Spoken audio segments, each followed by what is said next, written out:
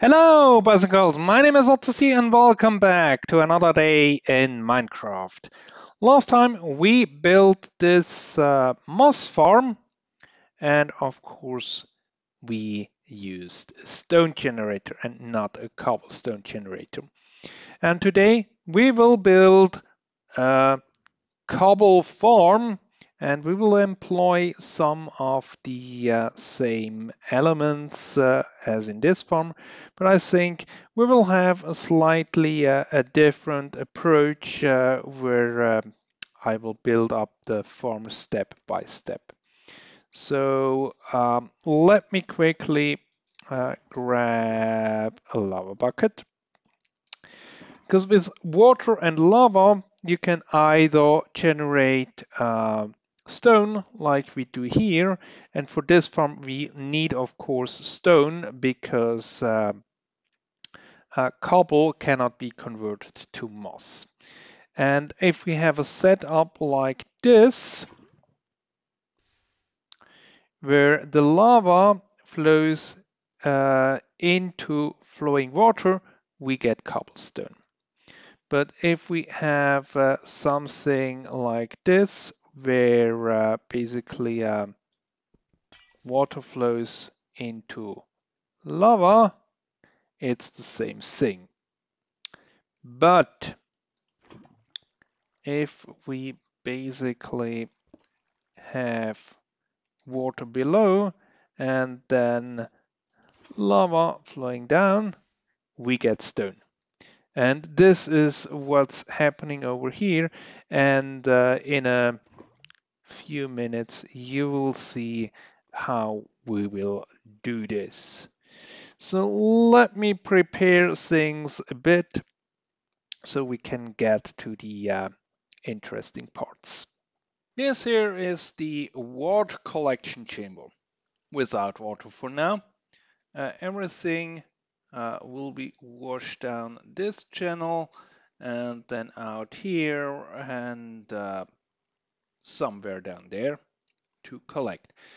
And this uh, farm actually uh, is very similar or parts are similar to the ones below where we will create stone and then blow up the stone. And that will generate cobble which will be uh, collected by this thing. So I think we will start with the uh, on off switch, which is the same as down below, just with uh, a different timing. So let me through this together. The on-off switch is complete. Lever goes uh, down there on this block or maybe on, on this side, which will push this piston out. And then we basically have uh, this timer here, which adds a bit more delay than the one below. And at the same time, uh, powering this piston, which will transmit the uh, uh, signal up there for the TNT uh, dropper system. And the reason why this delay is a bit uh, longer is because uh, the TNT duplicator uh, has just uh, a certain amount of time, or the TNT has a certain amount of time it needs from being ignited uh, until it ex explodes. And uh, this timing is very precise. If you have too much TNT, uh, it will go horribly wrong. If you have the timings uh, too slow, you're basically wasting time. So the timing for the uh, uh, stone generation and the uh, pushing in of uh, the stone needs to be um, adjusted uh, according to uh, the speed with which we can blast it.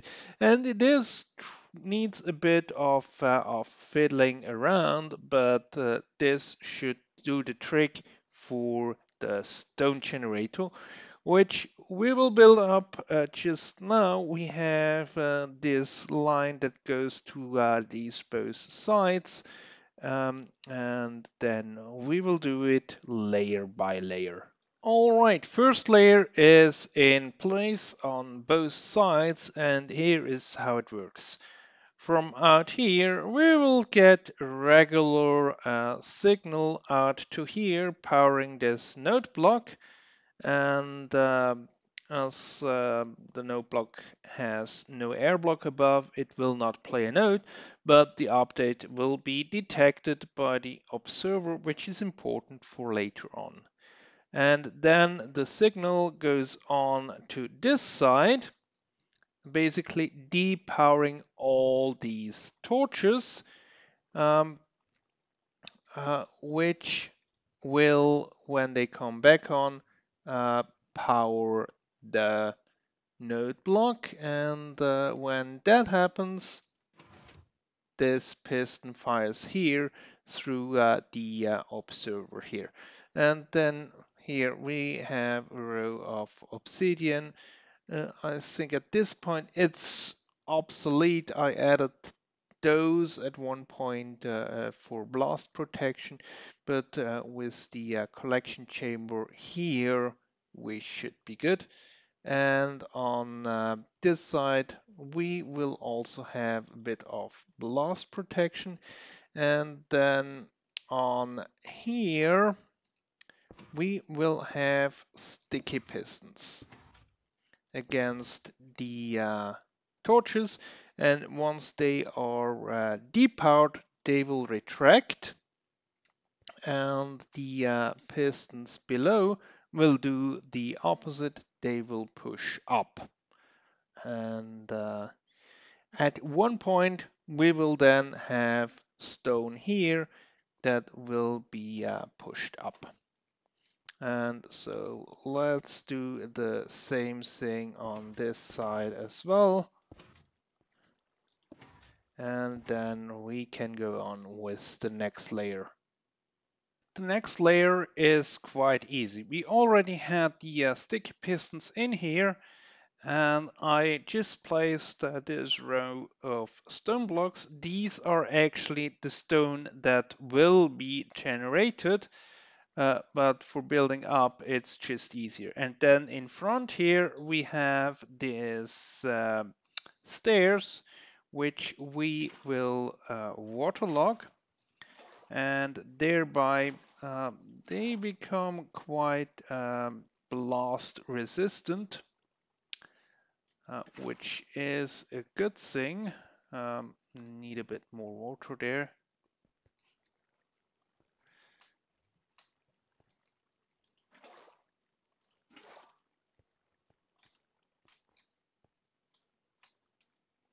and there we go. And the way this works, the sticky piston will pull out the newly generated stone. Then the pistons below can push it up. And the last thing we need here is the contraption to push the stone over and then we will have uh, lava I think on top of here. So when the stone is pulled out water flows in and the lava flows down creating a new row of stone. And uh, we can proceed um, with the next stone. So Let's put in the next layer in place. I placed another row of obsidian on top of the uh, stairs containing the water in order for blast protection because as you can see here on the back side I also placed uh, uh, some stones uh, which will represent the stones that are pushed up from the uh, pistons down below. So these stones will be retracted and then pushed up. And in this trench, we will have eventually the lava. And back here we have the system uh, to uh, push the stones up. So these pistons will push everything towards the middle. And this is triggered by the same redstone line that goes up through the note block observer, powering this block here, then through the repeater in this line.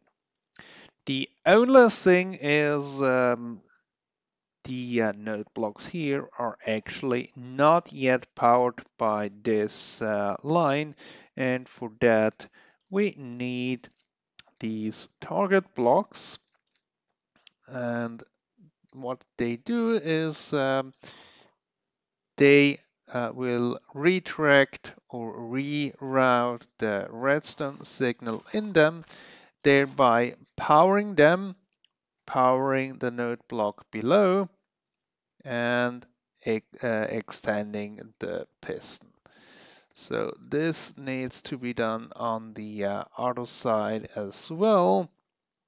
And then we only have to place the lava in and then we are done with the uh, stone generation part of things. Um, we will place also obsidian on top of here for blast protection. We don't want uh, our uh, precious redstone to be uh, blown up um, and suddenly half the farm no longer working. TNT duper is now almost uh, complete. So you can see down there the signal goes up there, then up above. We have a similar setup like down below, a bit different timing, and then we get the signal here into the TNT duper. There are a few designs, but um, I quite like this one. And there is a slime block missing. The TNT will then rest um, on here and uh, every time it gets uh, pushed forward or is it backward I don't know uh, it will be activated by the activator rail and uh, some weird stuff with uh, this curl and update order it will be ignited while duplicating and the tricky part is with these machines is uh, building them up. Um, and then you have to place the, the TNT in the right spot. So if I would place it here, it would all, uh, already be um, ignited and explode the whole thing.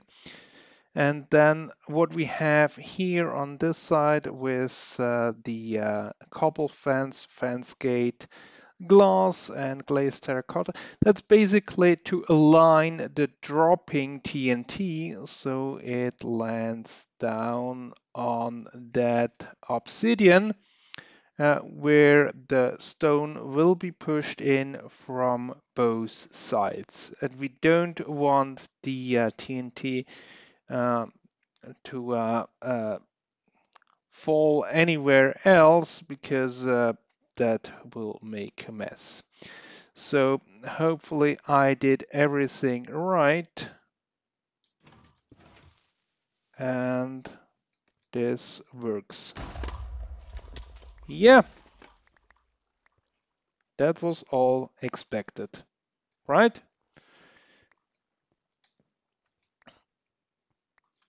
Okay, I'm down in a hole. Okay. TNT duper is primed, so let's give this uh, bad boy a test. We need another lever. Um, Let's place it here on the back. Okay. TNT falls down, explodes. And as you can see, the TNT explodes and the next one is already on its way down. So the timing is really close on the uh, TNT side. And if we would have actually uh, uh, lava in there, um, we would also generate some stone. So let's quickly do just that. Yeah. Alright, lava is placed in and everything should be fine. So let's keep fingers crossed that uh, actually it works this time. Yes, uh, stone generation works. The TNTing works. And the blasting works. So the only thing that's missing is the water down there. And uh, as you can gather from the snow, the water would freeze if it has open uh, sky access. So I think I will put up a temporary roof above the uh, TNT duper so that just does not happen. And then we uh, will have all the cobble we will ever need, hopefully. I put the water stream for the collection system in place and uh, everything is washed down to the middle. As we can see here and then down here right beside the uh, other water stream the cobble goes down and uh, into the main storage where it's collected in uh, shulker boxes. So we should be well supplied with cobble uh, but well maybe cobble is not everything that we need.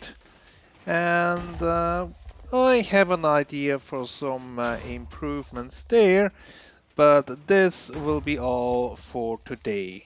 I hope you enjoyed it and I will leave you with this blasting. Until next time, goodbye!